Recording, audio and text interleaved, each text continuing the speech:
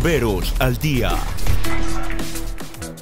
Bienvenidos una vez más a su programa Bomberos al Día. Conozcamos el comandante Julián Están Durango, quien nos va a hablar de los últimos días del mes de marzo e iniciando abril.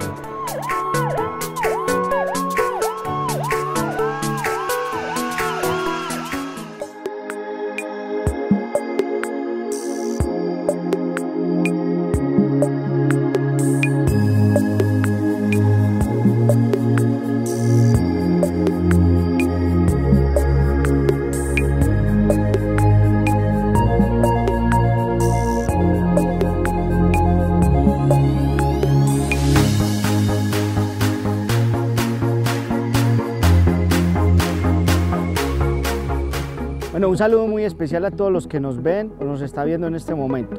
Queremos iniciar nuestro programa dando toda la parte informativa de lo que tiene que ver con los últimos 15 días del mes de marzo y lo que llevamos en el mes de abril. Seguiremos trabajando con el Consejo Municipal de Gestión del Riesgo, con las otras entidades y también los otros organismos de socorro para seguir dando monitoreo constante a las zonas vulnerables de nuestro municipio. Seguiremos eh, dándole lo que tiene que ver inspecciones técnicas a los puntos críticos que en este momento tenemos identificados, eh, a las quebradas o afluentes de nuestro municipio y lo más importante, pedirle el apoyo a la comunidad para que estos informen a tiempo cualquier novedad que se presente en sus comunidades o que acaten las medidas de recomendación que hagan los grupos de socorro.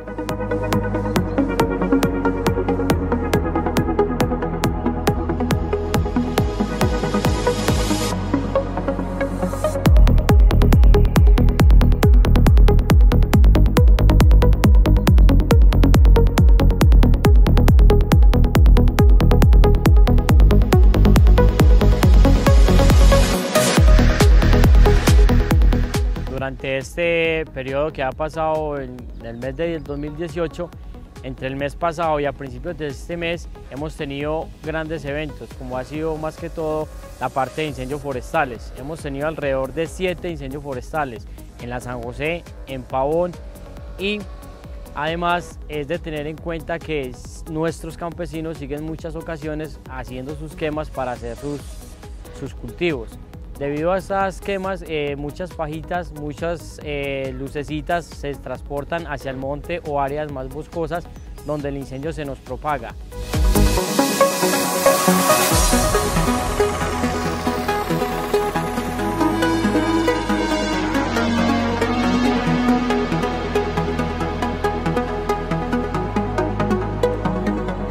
También les quiero comentar que tuvimos muchos sucesos en los cuales nuestro cuerpo de bomberos estuvo pendiente y dentro de esos sucesos tuvimos un plan de contingencia.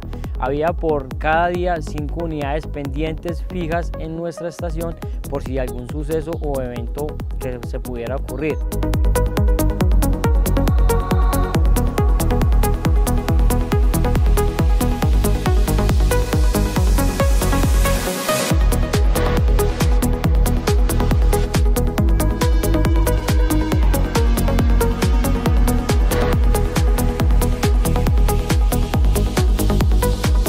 Parte de atención prehospitalaria, nuestro cuerpo de bomberos ha venido haciendo varias atenciones.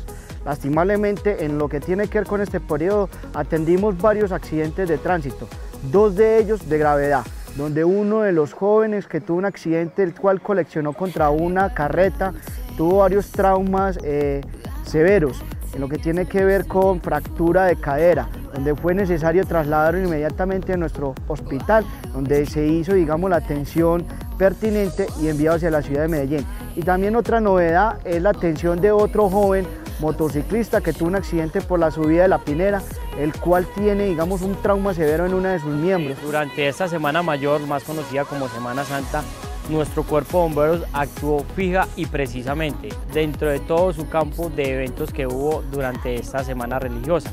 Les cuento que tuvimos caminatas con los muchachos, con el personal, digamos, de nuestra iglesia y, demás peligreses que subieron al peseta. Hubo un acompañamiento ya que los muchachos subieron hasta nuestro peseta. En la cena mayor, en la cena que hubo en el parque, hubieron varios sucesos. Dentro de ellos nos tocó, debimos de trasladar un adulto mayor, ya que hubo, fue desmayado, se desmayó y debimos de recurrir con él hacia nuestro hospital. También quiero comentarle que durante estos eventos que hubieron como lo que fue la sentencia de nuestro Señor, hubieron alrededor de 7, 8 personas las cuales se desmayaron y debimos de prestarles esos primeros auxilios para hacer su acompañamiento.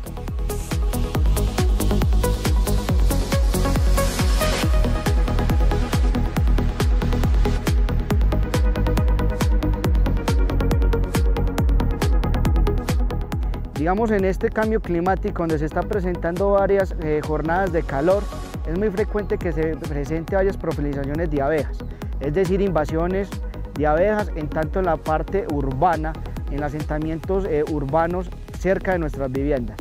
Queremos dejar algo muy claro, el ataque o el control de abejas no es responsabilidad del cuerpo de bomberos, dentro de las funciones de nuestra institución no es, digamos, eh, no están, digámoslo de esta manera, matar o recogerlas o capturar abejas. Esta responsabilidad le toca a otras entidades.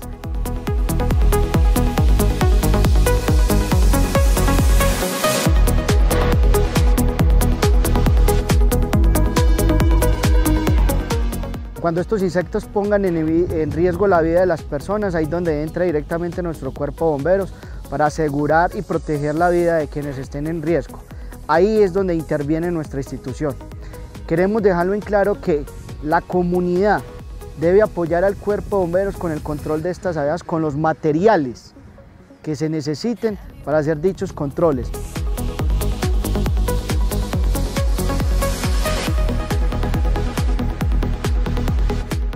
De igual manera hicimos el traslado de varios pacientes en las zonas urbanas y rurales. Algo para destacar es el traslado de una adulta mayor del, barrio Jaipera, el cual tuvo digamos una caída y fractura de cadera, el cual fue atendido y trasladado oportunamente por la institución. De igual manera el traslado de otros pacientes de las veredas que tuvieron algunas afectaciones como sabana, también eh, maternas, y igualmente destacamos el apoyo que hizo el cuerpo hombre del seguimiento de una emergencia que se presentó el Sireno de un menor que fue digamos eh, golpeado por una mula al caer de esta misma, un menor de tres meses, el cual tuvimos que hacer una coordinación con la ESE Hospital para eh, procurar su traslado lo más pronto posible y la atención a este infante.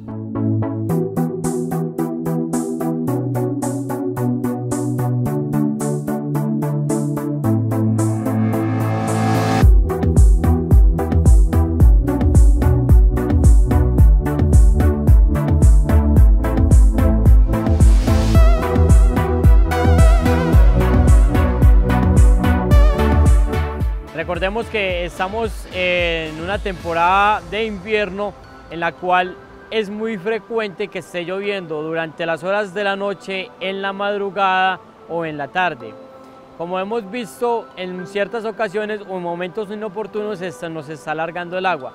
Quiero recomendarles a la gente de la comunidad, de nuestras veredas, de nuestro campo, donde aquellas cañadas, ríos, fuentes de agua se han estado creciendo, han estado presentando un alza en sus niveles de agua. Mucho cuidado, muy pendientes, ya que por la temporada de invierno que hubieron en los meses pasados, estos cauces del agua se están metiendo y están creciendo por otros lugares, los cuales son más peligrosos o nos pueden causar un peligro más frecuente.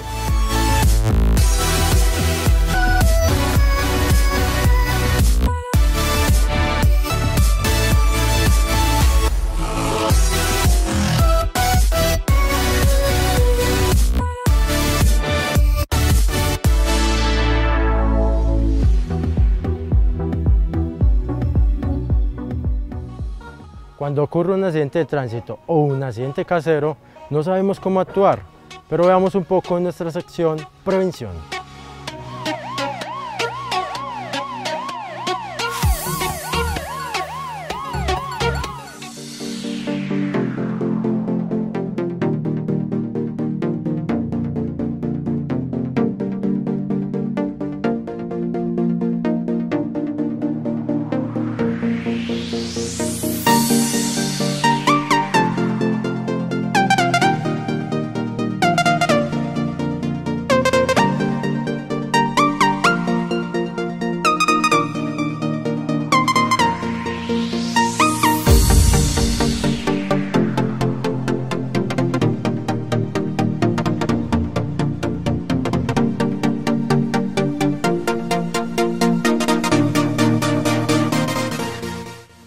Reconocer un material peligroso en un accidente, es bueno que identifiquemos la naturaleza del lugar del incidente.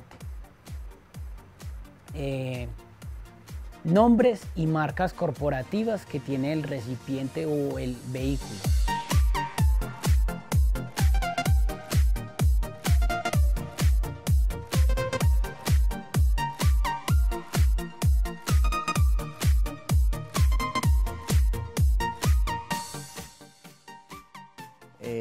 Estos productos vienen identificados con un rombo o colores de diamantes, que son los cuatro colores, el rojo, el blanco, el azul y el amarillo. Formas de identificar, debemos de alejarnos del lugar a 100 metros o a 150 metros a la redonda y luego llamar a la entidad o al cuerpo de bomberos para que ellos hagan, eh, realicen sus acciones.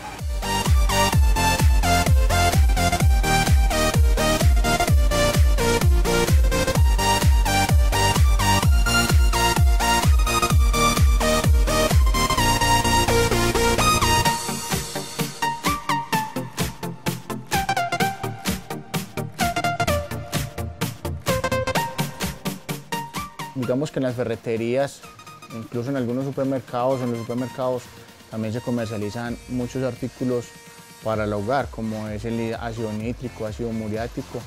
Eh, hablemos del cloros eh, eh, sólido y líquido, donde las amas de casa son muy, muy usuales en utilizar estos artículos para desmanchar pisos, para lavar los baños, para lavar las cocinas y muchas veces no están teniendo en cuenta el riesgo que deben tener ellas eh, cuando están utilizando estos productos.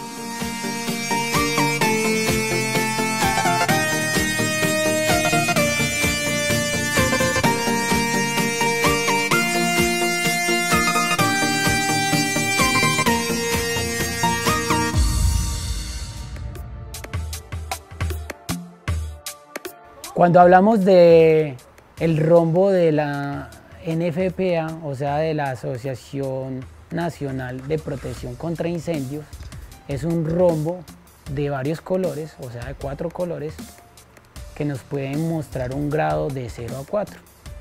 0 es cuando no hay mucho peligro, pero 4 sería altamente peligroso. ¿Cómo podemos vivenciar este rombo, este diamante? Lo podemos evidenciar en muchos productos de nuestra casa, como el cloro, el tiner, la pintura, etc. Muchos de estos rombos los vamos a identificar y en muchos de estos tienen la etiqueta en el cual muchos usuarios debemos de leer, que tiene el uso, las precauciones y su uso.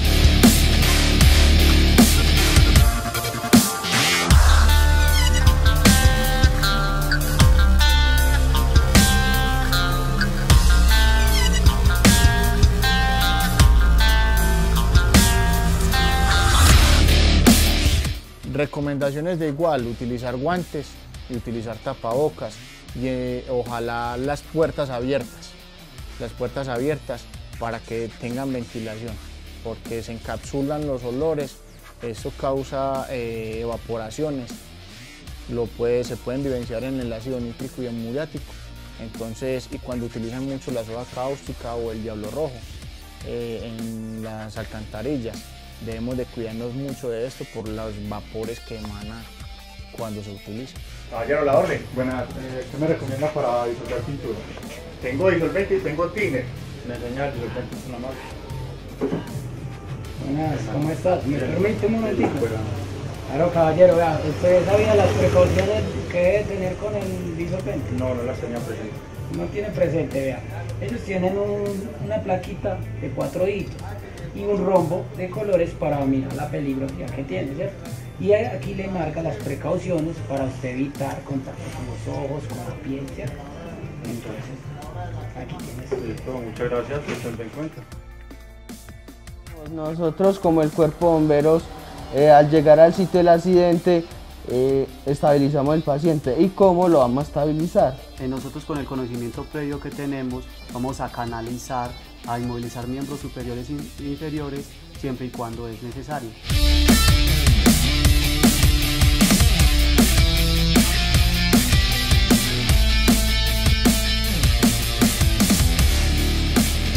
para informar a la comunidad que eviten el traslado de un paciente. Porque si ustedes mismos lo hacen, pueden estar perjudicándolo. Lo que sí pueden hacer es estabilizarlo y estar inhalando mientras que llegue algún organismo de socorro o nosotros como cuerpo de bomberos.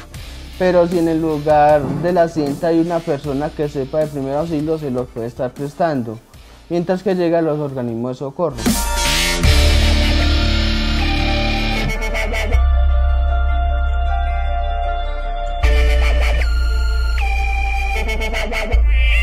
Si la situación es muy crítica como riñas callejeras o macheteados, lo que se debe hacer es eh, aplicar un torniquete si, si, la herida es muy abierta, eh, hacer limpieza, una correcta limpieza y hacer un vendaje. Y así trasladarlos hacia un centro hospitalario. Es importante que ustedes conozcan un poco de este tema. Vamos a un corte comerciales al regresar, historia. Bomberos al día.